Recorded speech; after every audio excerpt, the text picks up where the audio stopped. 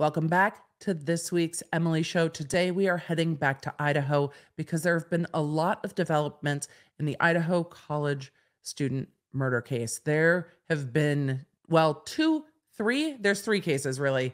We've talked about the TikTok defamation case that's related to this. Today we are talking about new unsealed documents with regard to search warrants, attorney conflict, and then a large appeal that's going on with regard to the media, trying to make sure that the gag order is yeeted from this case.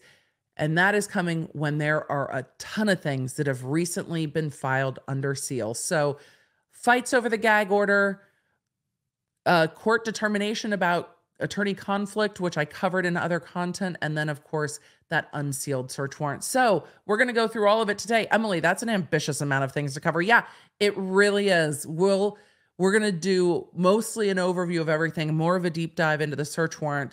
And then if you want a deeper dive into any of the aspects, you just need to let me know and we will do another episode. But today we are doing an overview of everything that we have missed in this case over the last, well, six weeks, really, with regard to this case because of coverage well, over in South Carolina. And now that Murdaugh is done, we can move back on to Idaho. So let's get into today's episode.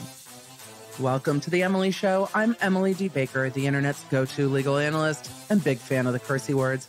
I've been a licensed attorney for over 17 years. I'm a former prosecutor, and I break down the legal side of pop culture and entertainment stories we can't stop talking about. We should just get into it. Let's go. Adulting is hard, and I try to work with sponsors that make it just a little bit easier. And Policygenius absolutely does that. It's one of those things we don't talk about a lot is what your life insurance looks like. And it's one of those things you might want to just set it and forget it. But how do you find it? Policygenius was built to modernize the life insurance industry. What does that mean for you? It means they're here to make it easier. Their technology makes it easy to compare life insurance quotes from America's top insurers in just a few clicks and find your lowest price. With Policygenius, you can find life insurance policies that start at just $25 per month for a million dollars of coverage. Some options offer coverage in as little as a week and avoid unnecessary medical exams. Policygenius has licensed agents who can help you find the best fit for your needs. The agents don't work for the life insurance companies. They're not incentivized to recommend one insurer over another. The incentive there is to find you the best policy so that you're happy. It's why they have thousands of five star reviews on Google and Trustpilot. There are no added fees, and your personal details are private. So if you want to get started today, your loved ones deserve a financial safety net and you deserve a better way to find it and buy it. Head to policygenius.com slash LawNerd or click the link in the description down below to get your free life insurance quotes and see how much you can save. That's policygenius.com slash LawNerd. Now, let's get back into today's episode. First, we're going to go over the unsealed Pennsylvania search warrants. Uh, these have been recently unsealed by order of the court, but again, we're going to be getting into the non dissemination order and the sealing of this case a bit more later on as we talk about the appeal over that non dissemination order. But parts of the search warrant and search warrant returns have been unsealed from Pennsylvania. I'm interested to see what they took, what was searched. There are two of them that we're going to go over today together. I'm not going to go over the affidavits in full because they are based on the same information from the affidavits that we have seen before. So we are really looking at what was taken, what they were searching for, and what that might mean for the case, and to get an idea of how much information law enforcement might have about this case at this point in time. So we're going to just pull up the one that I have saved in my files first and go through it now. So this first one is from the state of Pennsylvania for the white 2015 Hyundai Elantra bearing the VIN number and they list it, bearing the license plate number and they list it. And then looking for specific items in that Elantra related to the homicide case. This search warrant was signed on the 29th of December, 2022. The date of search was December 30th at approximately 1:25 p.m. Was property seized? Yes, and we're going to go through the property that was seized. This is the filed search warrant return. So when a search warrant is done, the officers get the search warrant um, from a judge, it gets signed, they go and execute the search warrant, they take the things that they are allowed to take, they leave everything else alone, ideally, and then they lodge the search warrant return with the court saying these are the things that we found and these are the things that we took in the process of the search warrant. And going through that, they also um, state that they left property at the residence and then lifted listed what was left at the residence and where that residence is. So the items that were taken, and this is from the receipt for property dated 1230, what was collected and seized from the vehicle that was parked at the residence in Pennsylvania was a knife, book with underlying on page underlining on page 118, AT&T bill for Bryan Kohberger.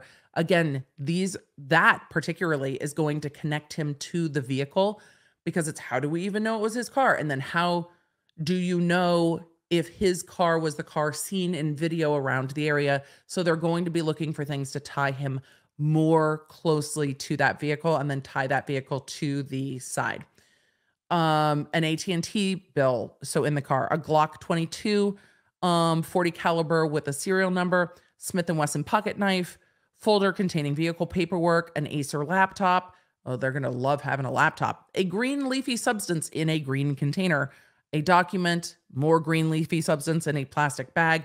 Again, if the officers suspect that that is marijuana, then they're not going to list it until it's been drug tested. I don't know what the laws are in in Pennsylvania. I know that that's not a problem in the state of Washington, but it can be a problem if it's not legal in the states you drive through to get from Washington to Pennsylvania with it uh, white paper with postcard. No, with passport, like a photocopy, maybe of a passport, a power cable, a cell phone, um, three Glock 40 caliber magazines empty, book, uh, black face mask, prescription, black gloves, one black hat, one black mask, uh, personal identifying documents, New Balance shoes, dark color jacket, dark colored jacket, dark color.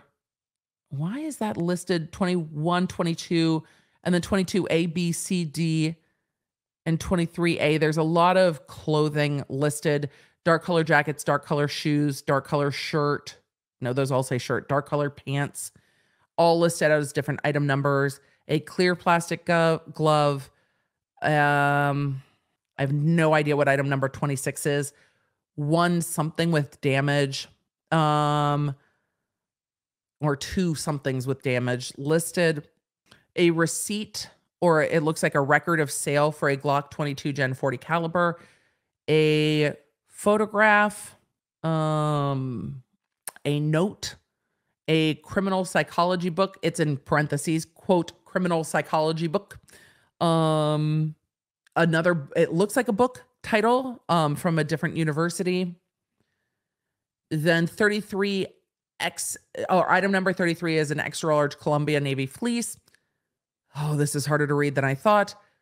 A hand drawing, an ID inside of the glove box, a dune. Does that say dune colored hat?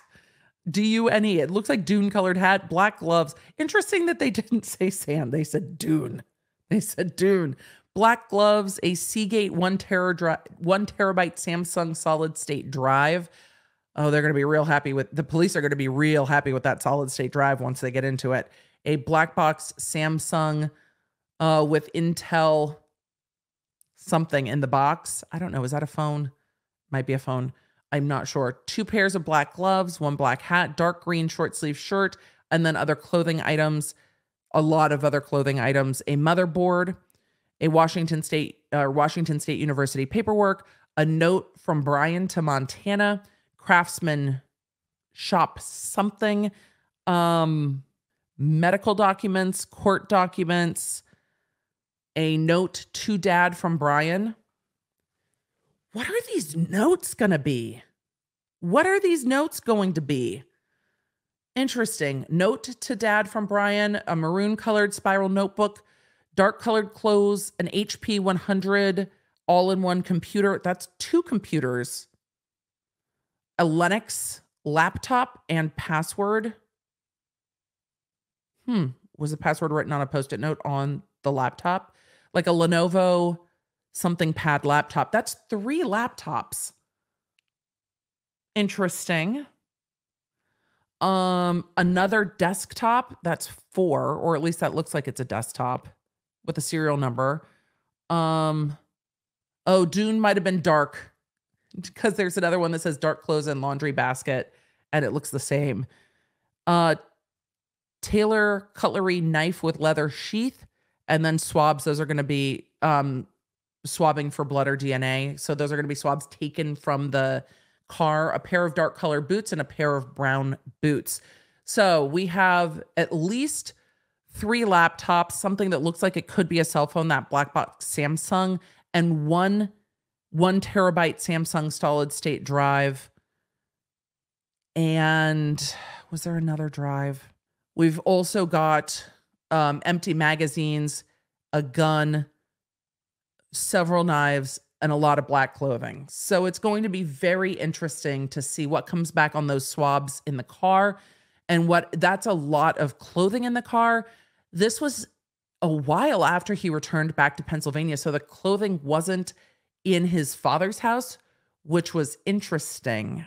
And as I've mentioned before, I do record these behind the scenes with our members who pointed out to me that I missed that item number 47 was a craftsman shop vac. It's very hard to read, but item 47 is absolutely a craftsman shop vac. So we have multiple laptops, a damaged laptops, multiple knives, a gun, multiple pairs of black clothing, black gloves, black masks, hats. So they are going to look for all of the things in this car. What's interesting is that he has gone to stay at his father's house and all of this is still in the car. It's a lot of tech to leave parked in a vehicle, especially if you're not parking it in a garage. So I wonder what the destroyed level of the laptop is. Like, did the laptop look like somebody had taken a hammer to it or like a, a drill to it?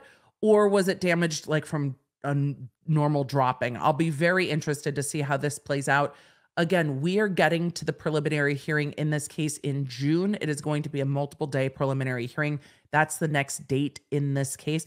But we have another search warrant from the state of Pennsylvania to go through and see what they took.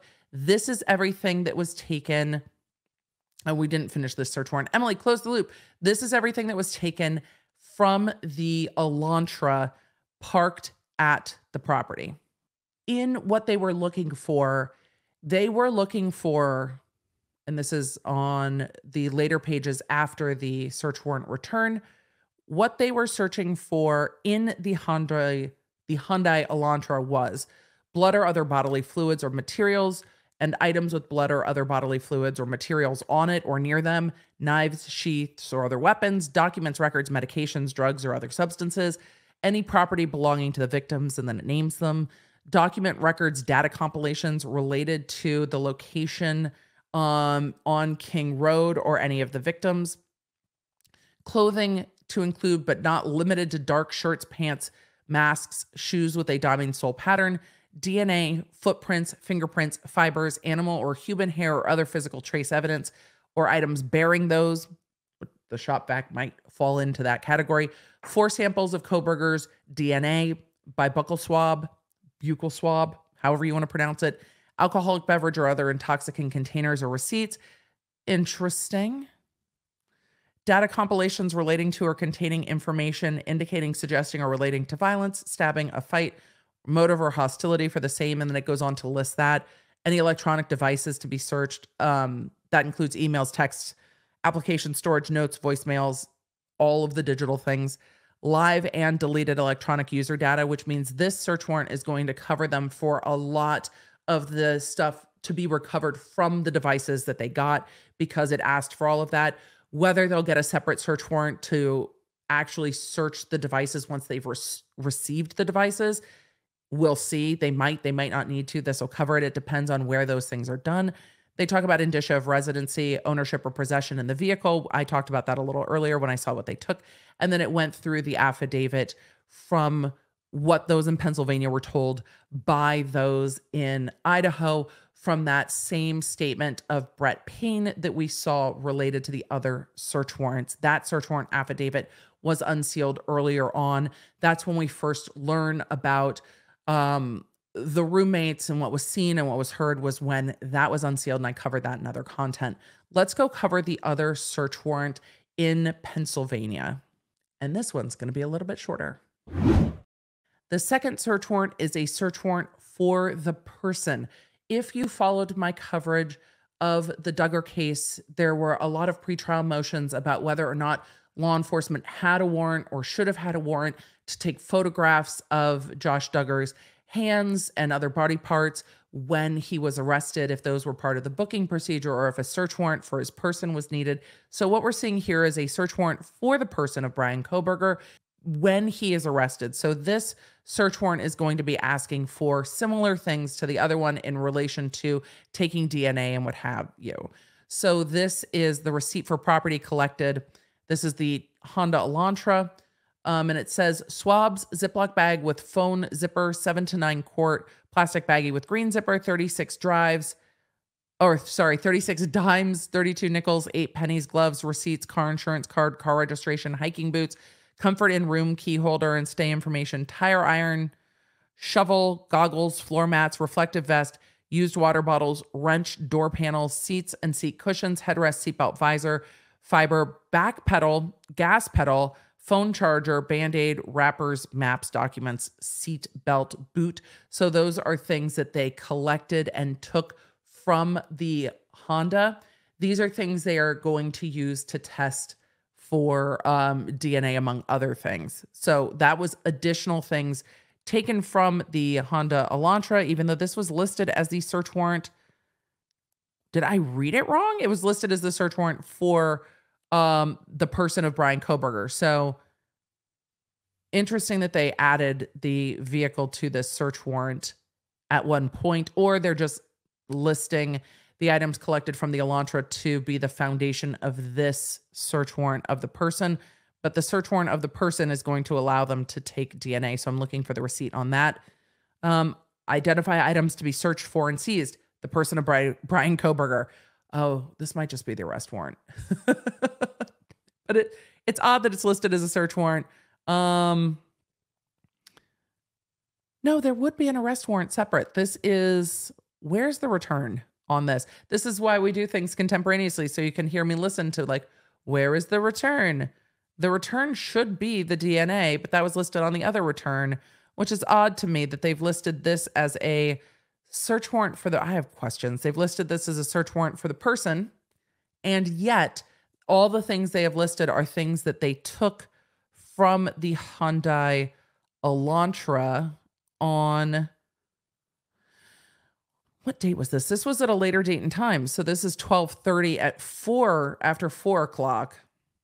I wonder if they just added this. That's odd to me that they added this to the collected and seized um, to the search warrant for the person. And then they put the search warrant return on the other one. So this one is the search warrant um, being done at 435 or no later than 4:35 p.m. And this is the search warrant for the person, but the return gives a whole bunch of the return summary from the uh, Hyundai. Interesting to me why wouldn't you just say that you took the DNA in this search warrant return? Why put it in the other search warrant return? I don't know. When we go through things contemporaneously, sometimes they're confusing. Let's move on. We have lots more to cover today. After a thank you to our sponsor, we're going to talk a bit more about attorney conflict. Well, spring is trying to spring, and at least the time change has sprung forward. But you know what it's time for? a little spring cleaning on that beard. Are you team beard? I'm team beard. I love Dr. B's beard. And you know what a beard needs to stay glorious? Manscaped. That's absolutely right. I could hear you saying it with me. Beard Hedger Pro Kit. And it comes with everything you need to groom a beard and keep it nice and snuggly and soft. The Pro Kit starts off with the Beard Hedger, which is a waterproof cordless trimmer with rotary wheel that has 20 cutting lengths all with one guard. It also has titanium coated blades that are tough on hair but smooth on faces. But the kit also comes with beard shampoo and conditioner, the beard oil and beard balm, and you get three free gifts in that kit, which include the beard brush, which is a favorite at my house, as well as a little comb that works perfectly with the scissors to get all those strays so the beard is always ready to impress. So save 20% and get free shipping with code Lawnerd. That's 20% and free shipping with code Lawnerd at manscaped.com. Help get the beard in your life ready for spring. Let's get back to today's episode. In previous content, I talked about the conflict issues with regard to public defender Anne Taylor, Bryan Kohberger's appointed public defender, and other clients that she had represented and had ceased representation from. Clients that were parents of victims in this case. That was done at a hearing that was in chambers that had been sealed on which none of us knew about until they unsealed it. So on February 24th, 2023, that was filed with redactions after a motion to unseal it. This also comes up in the appeal that we're going to be talking about shortly. But in this case, there is a memo that has been now with redactions unsealed about what happened at the hearing with regard to the conflict of attorney Anne Taylor. If you want my thoughts on that conflict and the conflicts that existed, I think in the Murdaugh case, you can go check out that episode. We will list it down below. This filing says come now, the state of Idaho by and through the Latah County prosecuting attorney um, and the above named defendant by and through its undersigned attorney stipulate to the court unsealing the attached redacted copy of the memo summarizing a January 13th Chambers conference, which was filed under seal on January 20th, 2023. So the hearing was on the 13th. They filed this memo under seal on the 13th, and now we're seeing it. The redactions are pursuant to the Idaho Court Administrative Rule 32I2D in that given the extent of threats and harassment of potential witnesses, disclosure of the redacted potential witnesses' names and their representatives' names at this time might um, threaten or endanger their safety. So that is their reasoning for keeping parts of this under seal. And let's go through it. The following is a summary of the in chambers Zoom meeting with Judge Marshall on January 13th, 2023. The following attorneys were present Bill Thompson, the prosecutor, Ashley Jennings, senior deputy prosecutor, um, blank, attorney for blank, co counsel attorney for blank, redacted, attorney for redacted, then uh, Shannon Gray, attorney for the Goncalves family, and Anne Taylor, public defender for Bryan Kohberger. Judge Marshall's clerk was also present. This meeting was off the record. Judge Marshall read the substantive parts of the non dissemination order that was issued on January 3rd, 2023, Judge Marshall reminded the parties that the order mirrors the Idaho Rules of Professional Conduct 3.6, which she then read. Interestingly enough, this is going to come up in the appeal saying, look, the non dissemination order is not needed. The rules of professional conduct cover this. A broader non dissemination order is overbroad. And that's why the press, the AP, and others are seeking to have it yeeted.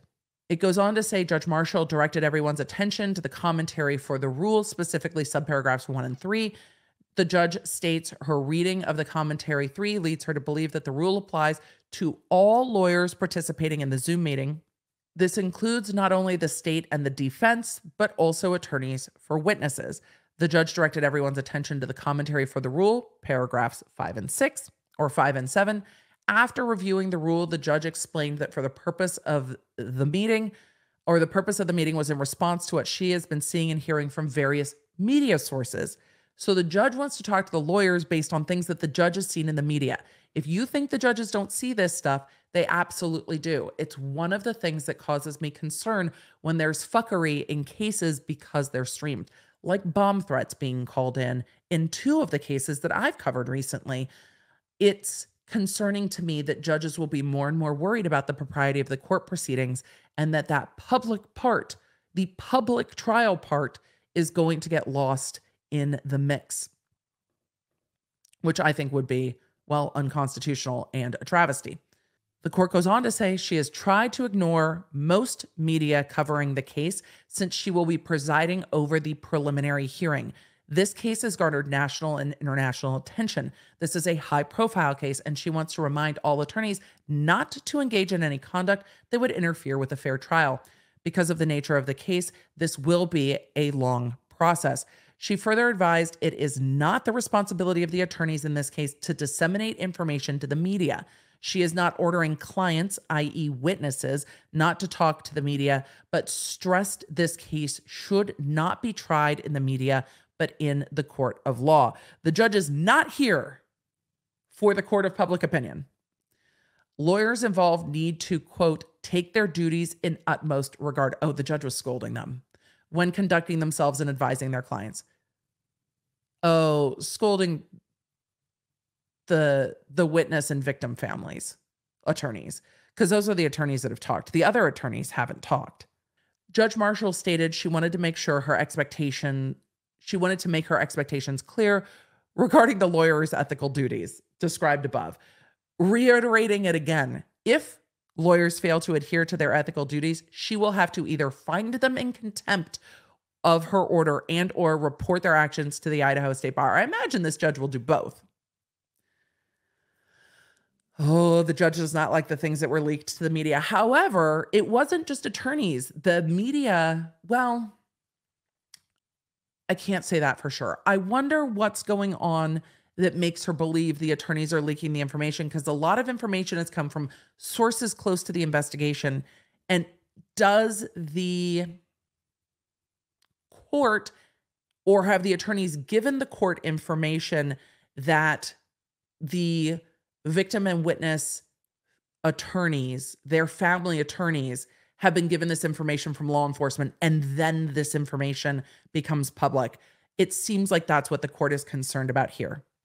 It goes on to say Shannon Gray responded that he reached out after the non dissemination order was issued asking for clarification and he did not receive a response. This is the Goncalves family attorney. He asked if the order precludes victims and witnesses from speaking Judge, or it says victim slash witnesses. Judge Marshall reiterated that her order does not preclude witnesses from speaking. Redacted responded that he expects his client, Redacted, will be a witness in the case. He also expects that the um, decedent's families will be witnesses if or will be witnesses in this case since it is a potential capital case and they would be called to testify. He has handled numerous homicide cases, including capital cases, during his career. He assures the court that he has advised his client, redacted, to decline all media and will continue to do that. He and his client, um, he and his client, and will not comment as it would be inappropriate to comment. The judge appreciates redacted's perspective. The judge reiterates she is not saying that clients cannot talk to the media, but does question whether it is wise for them to talk to the media. You can't tell them not to talk to the media. You can't tell witnesses not to talk to the media. So instead, the judge is like, well, I can't tell you what to do, but it's unwise. It goes on to say that the judge reminds the lawyers they have a responsibility in giving advice to their clients sounds like the judge is telling the lawyers, remember to tell them it's unwise for them to speak to the media. It goes on to say if any lawyer has questions about this or takes issue with any of this, they should contact the Idaho State Bar and seek clarification. Go talk to the bar. Let them tell you how the rules of professional conduct work. It seems like the court has made it pretty clear their feelings on the rules of professional conduct in pretrial media. Shannon Gray speaks about emailing the state and wanting to contact the court to seek clarification. Mr. Gray stated he would seek clarity from the Idaho State Bar. The judge responded that she appreciates Mr. Gray reaching out, but that she has she has had limited um, accessibility with a full court calendar. This is why she scheduled the meeting. Mr. Gray discusses the PC affidavit and alleges that information is getting leaked from the prosecutor's office. Judge Marshall reminds the parties about the Idaho Rules of Professional Conduct 3.6 and the lawyer's duties. The lawyers should not be speculating. Ooh, this on memo sounds a little snappy.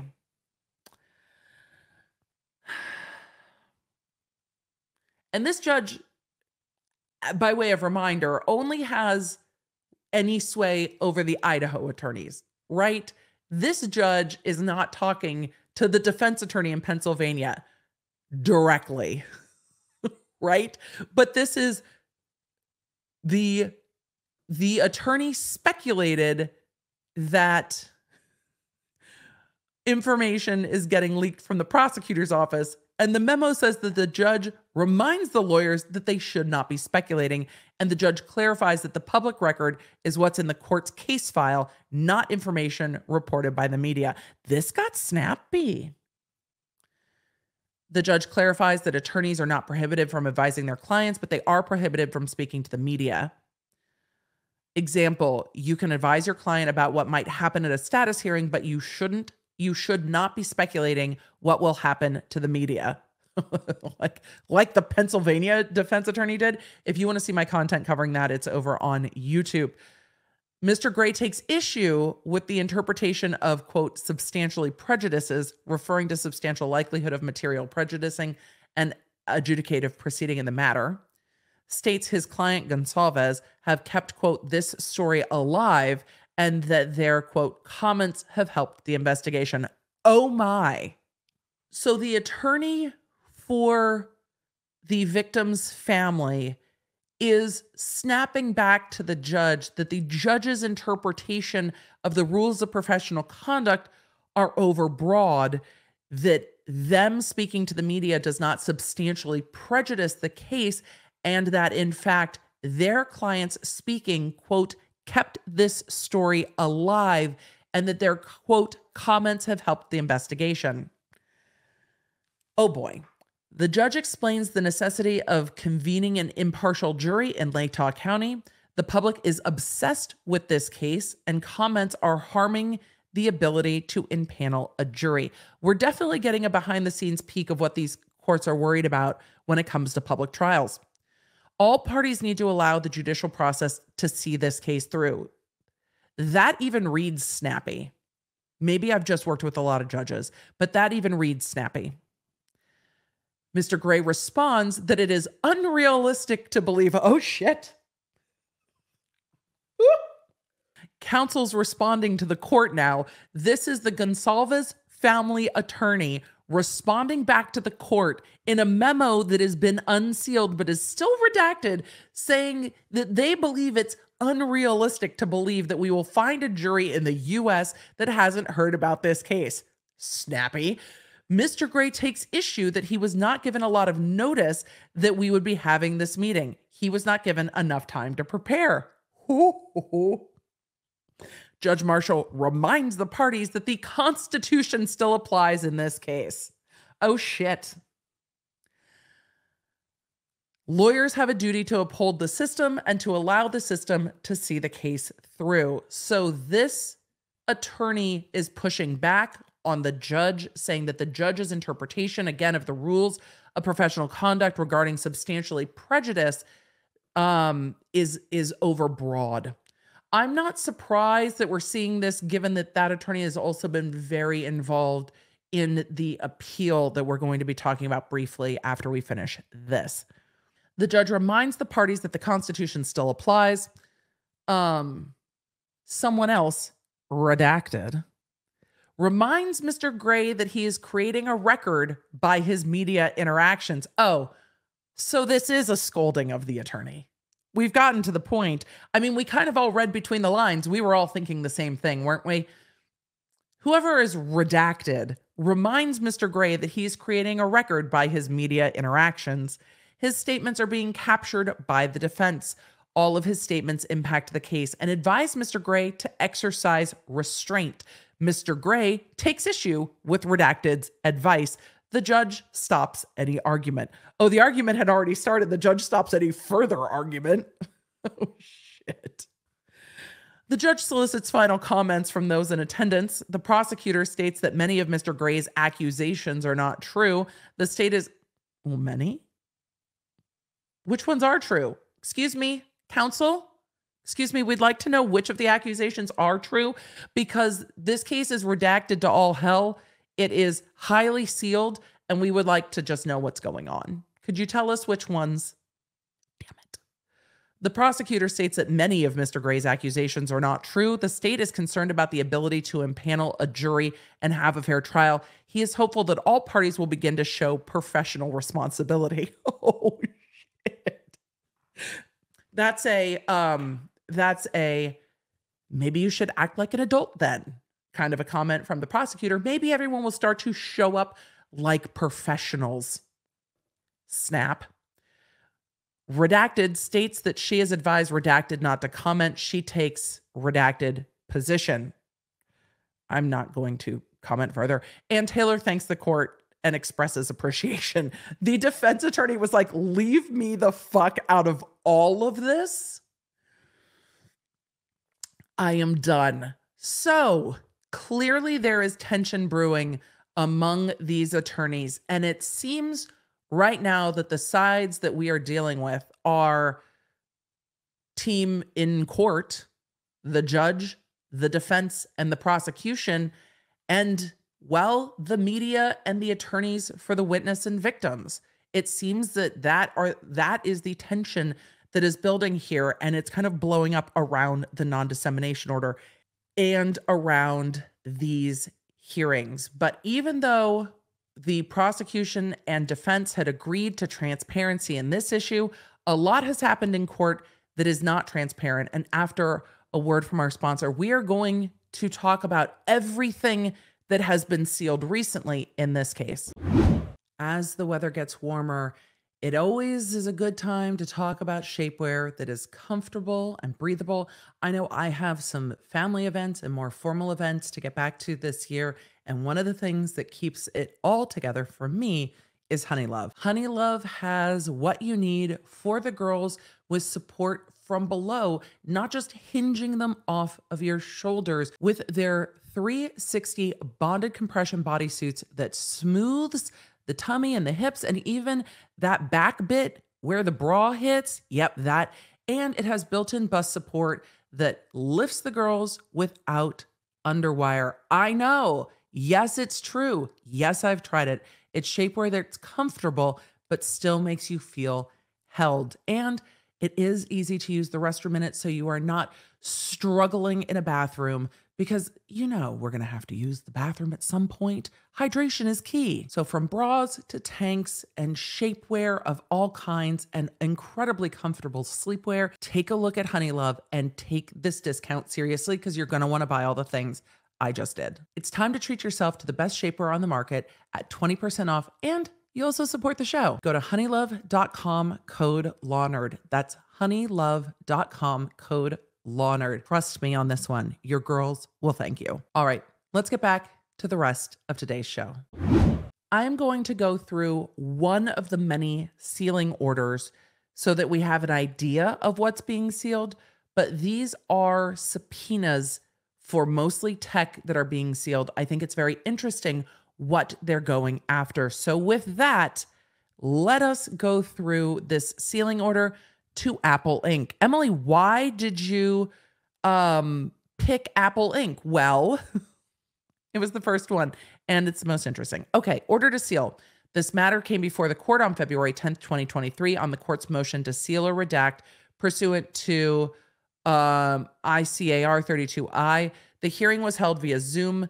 The Prosecutors appeared on behalf of the state, defense on behalf of Kohberger to review the records. Considered the uh, the court reviewed the records, considered the arguments presented, weighed the interests of the privacy and public disclosure, and announced its finding as a fact on the record. Therefore, pursuant to ICAR 32 I2A and D and um, IC 74 124 1C, the court finds it necessary to seal the records related to the search warrant for the following reasons.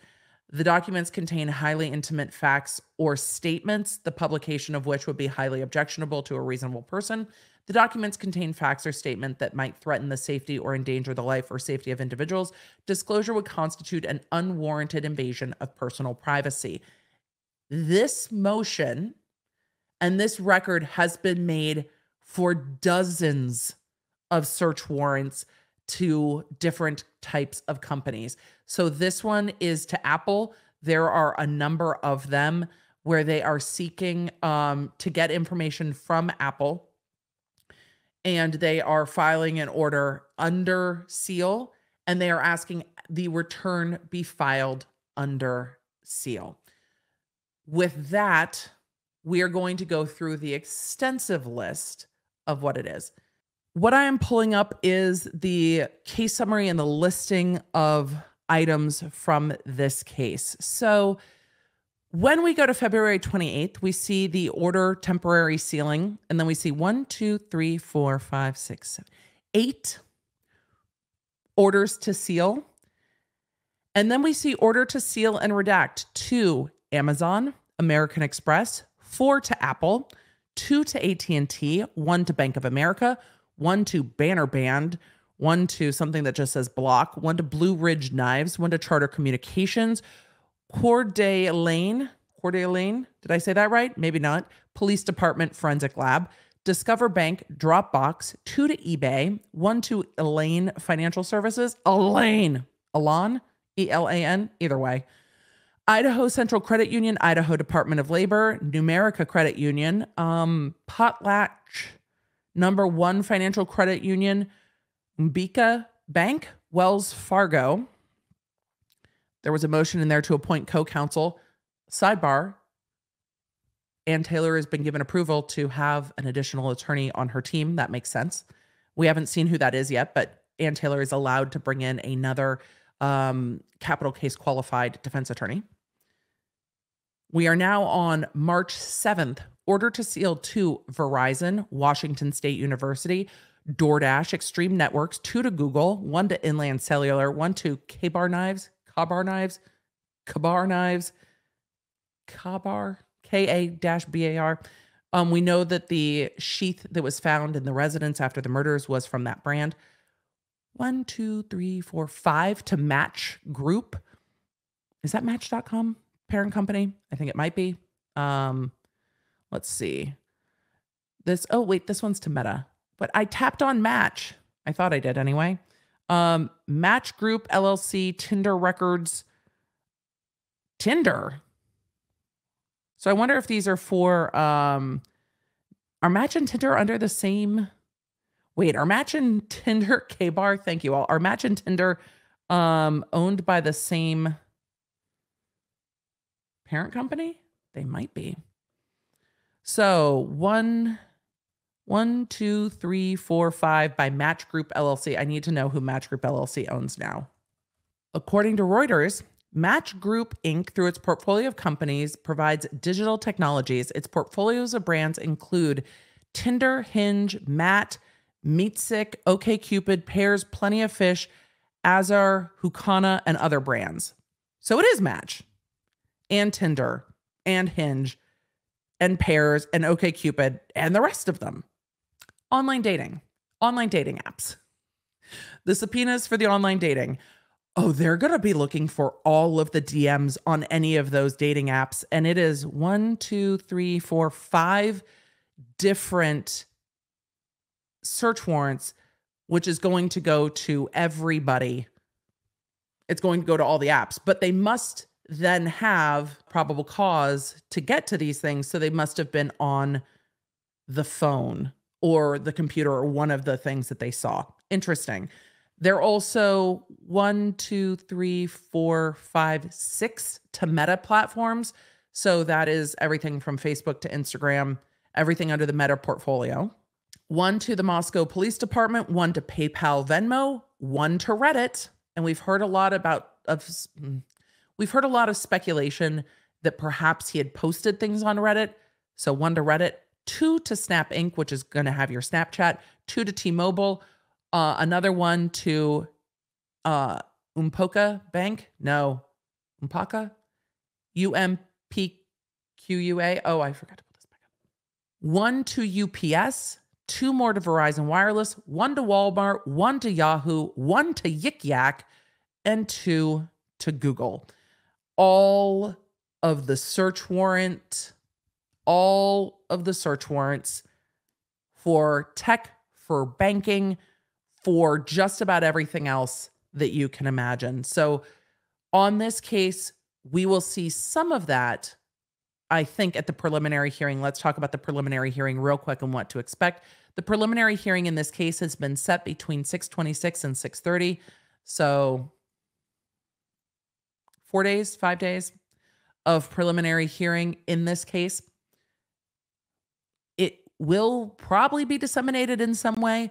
I will be doing everything I can to get that ASAP so we can all go through it together. So if there is a pool feed, we will be working on that. So in June, mark your calendars, June 26th through the 30th, we're going to be in Idaho in June, folks. Yes, yes, we'll be in New Mexico in May and then Idaho in June.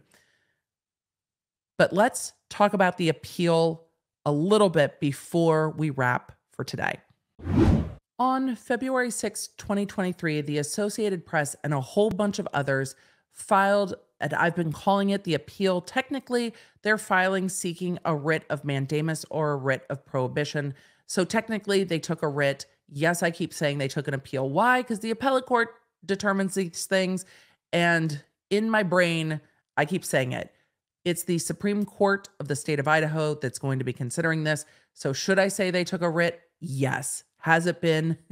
Is it completely accurate to say they're seeking an appeal? No. What they're seeking is a writ. I have been using writ and appeal in this episode synonymously. They are not used synonymously. So apologies if there was any confusion. It is a technically a petition for writ, but they are taking it up to the the appellate court of the land asking to yeet the court's decision. So the Associated Press et al are asking the court to issue a peremptory writ ordering the Latah County District Court and the judge to vacate the amended non dissemination order. Yeet. They are asking the court to yeet the non dissemination order. They're saying that there's no history of extrajudicial statements or extrajudicial statements that would prejudice Kohberger's right to a fair trial, that his attorney and prosecutors stipulated to the gag order prohibiting um, everyone from speaking, that the court should apply the strict scrutiny standard to it. So let's just take a look real quick at everyone that's covering this or everyone that's filing for this writ as a group.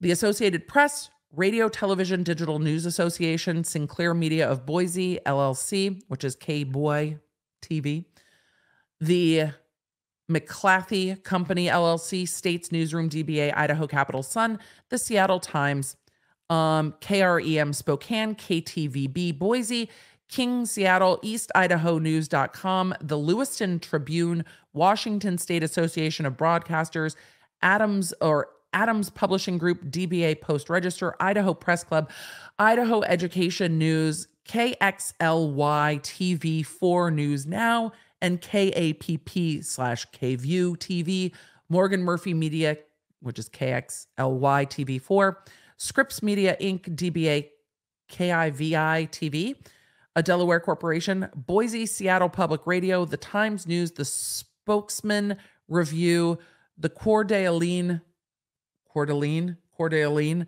uh, Press, The New York Times Company, Day 365, DBA Vo- Boise Dev, Law News, NEWZ, Law News Inc., Scripps Media Inc., a Delaware corporation. Scripps is in charge of um, Court TV, ABC Inc., WP Company LLC, DBA, The Washington Post, Society of Professional Journalists. versus the Second Judicial District of the State of Idaho, County of Latah, Honorable Megan E. Marshall, Magistrate Judge. So they are taking a writ against the judge to try to yeet the order or have the Supreme Court say that non dissemination order violates the law. It is overbroad. It needs to, less restrictive methods are available to achieve the same thing and protect a fair trial. So, yeet it. Interested parties have come into this case, including the attorney that we saw fighting back with the judge in the Zoom call, the attorney for the Goncalves family. But Bryan Kohberger has also entered the chat as an interested party and has filed a um, has filed their own response to this as an interested party.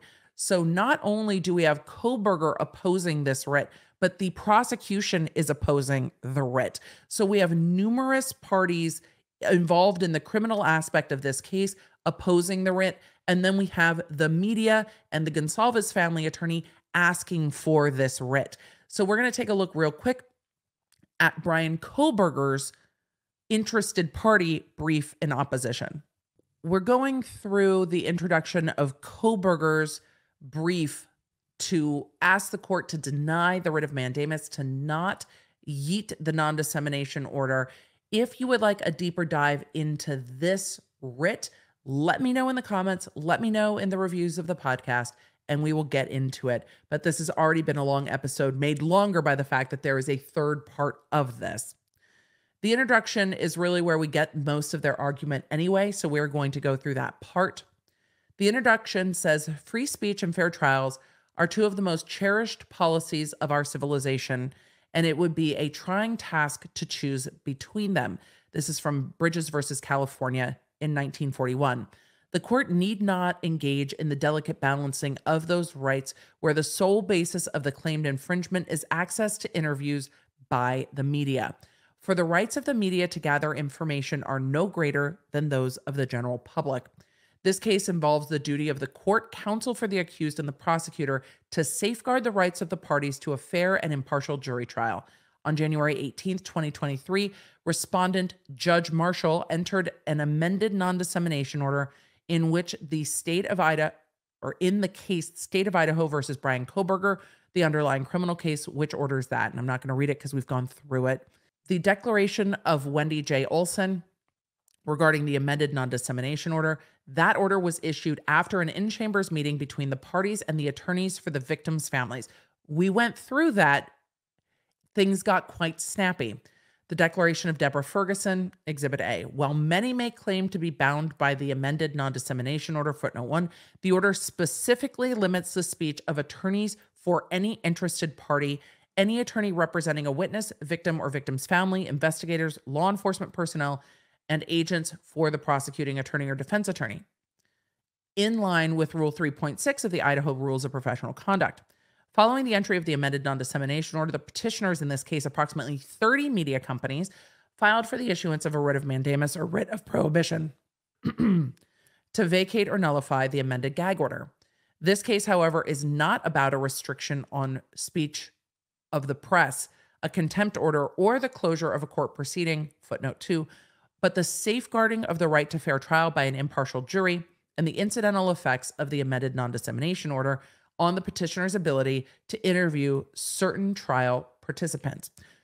Footnote 2 states See Nebraska Press Association versus Stewart addressing an order which specifically restricted the press from publishing or broadcasting a confession and bridges relating to contempt proceedings and fines by the court for comments related to pending litigation and another case, Press Enter Co. versus Superior Court of California, holding that there is a qualified First Amendment right to access to criminal hearings. So they're saying this is distinguishable. We're not closing court proceedings. We're just not allowing some attorneys to be interviewed. First, the petitioners are not entitled to the writs because their First Amendment rights have not been infringed by the incidental effects of the amended non dissemination order. The petitioners are free to seek interviews from witnesses and observe the court proceedings in the underlying case. This court should follow the reasoning of the Ninth and Second Circuits of uh, of the Ninth and Second Circuit Court of Appeals in Radio and Television News Association of Southern California versus U.S. District Court. This comes up a lot. This is not this is not new to the courts. Even if the court were to expand the powers of the media to attack lawful orders in criminal cases which bind those parties involved to the rules of professional conduct.